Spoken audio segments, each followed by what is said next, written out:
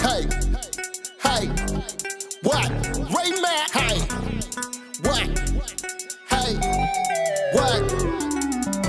Welcome to Ray Mack's Kitchen and Grill. Love and not hate. Love and not hate. Welcome to Ray Mack's Kitchen and Grill.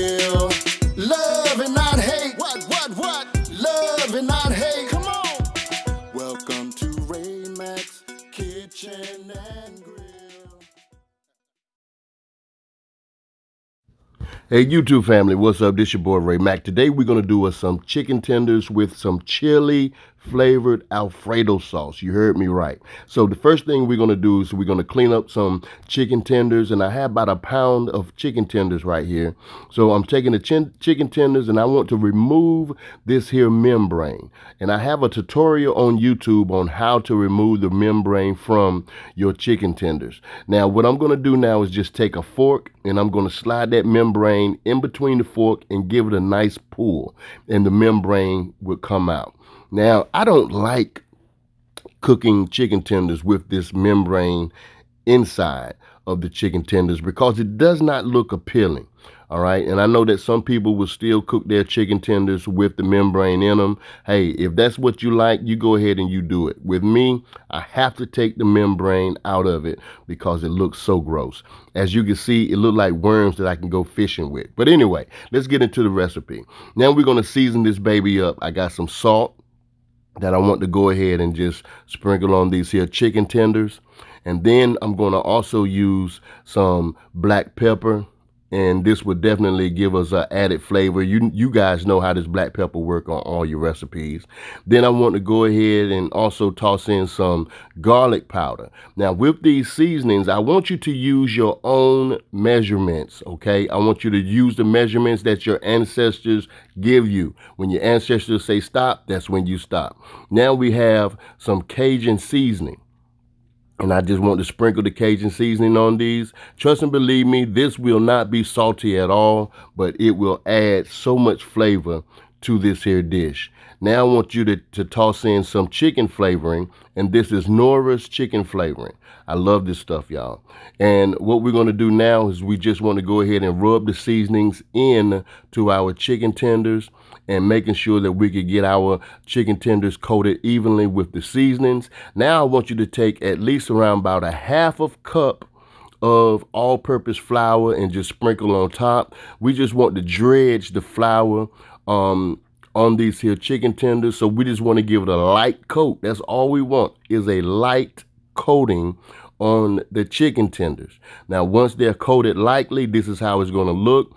I want you to go ahead and take two tablespoons of butter along with a tablespoon or two of olive oil put into a hot skillet and I just want you to brown your chicken tenders on both sides. That's all I want you to do is just brown it on both sides. Now, I'm using a splash guard right here just so that the grease don't splash everywhere. Now, once your ten, ten, chicken tenders are brown on both sides, go ahead and remove them out of the skillet.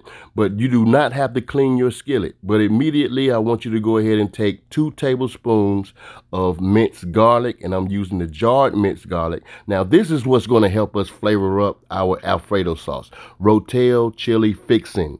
All right. I love this stuff, y'all. If you can find this at your local store, at Walmart or your local grocery store, buy it. Make this Alfredo sauce, and I guarantee you, you will not be disappointed. So this is Rotel Chili Fixing. If you can see that it's going to be mad flavor all up and down this here dish. Now I have um, at least round about a half a cup of chicken broth, and I'm adding that to the um, skillet as well, giving everything a, a, a, um, a stir.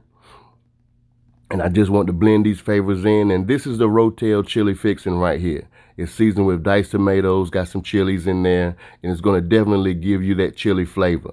Now I want you to go ahead and take um, some whipping cream, all right? Take some whipping cream and just add it to it. This is about, I say, a half a cup of whipping cream all right and just stir it into your your mixture And the next thing that we're going to do, baby, we're going to flavor this up as well. This Alfredo sauce is off the chain. And I'm definitely going to try to leave some measurements for you guys below so you can try this here recipe, okay? So all you have to do is just hit the description box. So now I have some more Cajun seasoning that I'm adding to this here um, soon to be Alfredo sauce, giving this thing a nice mix. We're going to let it simmer on top of the stove for at least around about a good five to eight minutes. And once it has simmered up, we want to go ahead and take our chicken breasts, our chicken tenders, and add your chicken tenders right to the skillet. We want to go ahead and drown these chicken tenders into this here soon to be butt kicking Alfredo sauce, chili flavored Alfredo sauce. You're going to love this recipe, y'all. Trust and believe me, okay?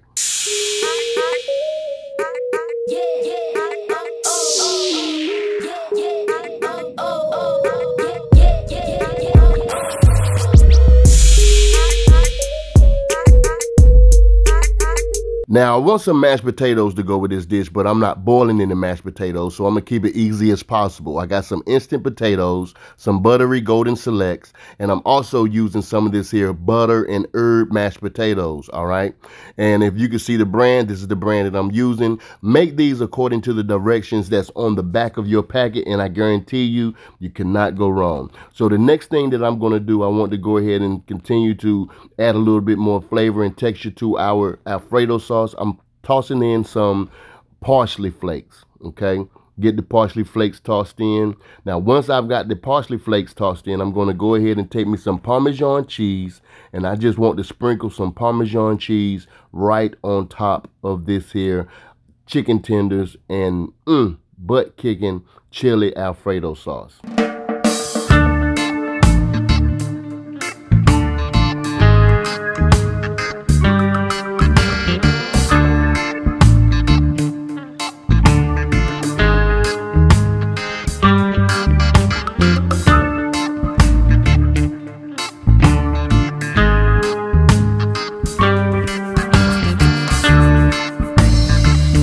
YouTube family, look at here. All you have to do is let this baby simmer for about three minutes until you get to your um, thickness that you like for your Alfredo sauce. And I'm telling you, you will not be disappointed. That Rotel chili fixing, man, it jazzed up this here Alfredo sauce to the 10th power. I'm telling you, you're gonna love this here recipe. I want you guys to give this baby a try. Whoever put their mouth on this here recipe, they will definitely thank you for it. Now, if you want to fix some mashed potatoes, you know what I'm saying? Be my guest. Get in there and fix you some homemade mashed potatoes. But I have no problem taking some some instant mashed potatoes and making my dinner quick. You understand what I'm saying? A quick meal. I love a quick meal. This is definitely a quick meal and the taste is unbelievable. So if you can, please give this recipe a try. This is definitely a must try recipe. Now do me a favor if you don't mind. Give this video a thumbs up, all right? Comment below and tell me what other recipes would you like to see in the future. Now I also want you to do me another favor, favor if you can, all right? Love and not hate. Love somebody and hate nobody. If nobody told you today that they love you, let me be the first one to tell it to you. I love you, and there is nothing in this whole wide world that you can do about it. Now, for those of you who are watching this video, let me just say these words also. Thank you so much for watching this video. Subscribe to my channel by clicking on my photo, or you can click on that subscribe button that you see in the corner of the video. Just click on it and it'll take you directly to my subscription. All you have to do is just hit that subscribe button. Love and not hate. Love somebody and hate nobody. Peace.